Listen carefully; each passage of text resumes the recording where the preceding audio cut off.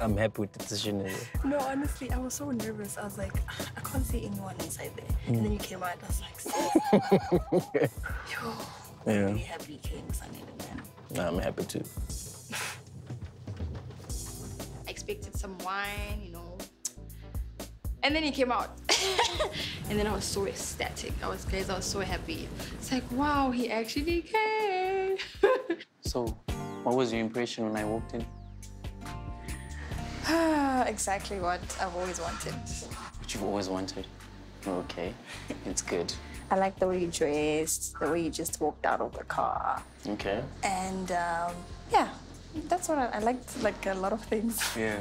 He looked very nice and very handsome, you know, and cute. What did you think when you when you first saw me, when you went out the car? You were glowing. I was like, You were glowing. but you didn't see And me. I just looked at your feet. I'm obsessed with feet. Like, I think you're a size five or size four, right? Yeah. Your family didn't say much about you going out and whatnot. The club thing, I don't mind it, you know, but it mustn't be every weekend. It must be like when we want to. It must be like a mutual agreement. Yeah. Yeah, if you say you want to go out and I'm like, I also want to go out, then we can go out together. So I can't go out alone. No, you can. Yeah. Yeah, but then I need to make sure of a few things before you go out. Who are you going out with? Okay. What time you gonna come back, you know? Curfew. I would like to know, you know, so that I don't wait up for you, you know? Imagine now you come back at 2 and I must stay awake. Yeah. Yeah. nami ngishilo vele ukuthi nginenkinga vele nokubloma kakhulu namashita maybe that can change Where do you see yourself in five years? What are your plans? Five years with you.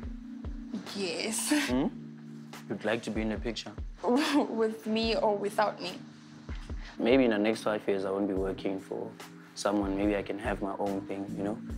Okay, and then what about kids? Okay, I've got a boy now. I need. I'm hoping next time, I'm totally maybe a girl, you know? From who? If I get a. Well, it can be you. You know? Okay. Hmm. But if you have it with me, then I'm gonna have one kid. And I want three. That's fine. Remember, we've got one now. Yeah. Yeah. Oh, by the way, I forgot to tell you, I love kids, hey? And they love me very much. Okay, that's good. So, your son is gonna like me. Trust me. he might call me mom soon. Let's hope so. I hope so too. He's a man, you know. Boys don't think about such things, you know. If he sees a future in me, that means he sees potential. You know, I can grow him in some way. And the fact that I'm wifey material. so I guess that's a good thing. I'm actually um, a graduate. So recently, I'm actively looking for a job. But I'm stuck between. I did education, by the way. Yeah. Imagine I could be making you a lot of money. And me? Yeah, no, we could be making money together. Yeah. So yeah, You should invite me to your classes. Just one day. You know, I definitely will. you should invite me. yeah, I i will. like i-personality yakhe you know like uyaringa mfethu uyakhuluma uyasho ukuthi ufunani you know and she sounds very ambitious So, Ketura, is there a second date per se? I feel like you and I need to get to know each other on a personal level. Yeah.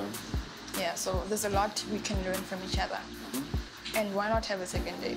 Okay, that's good. This is so good.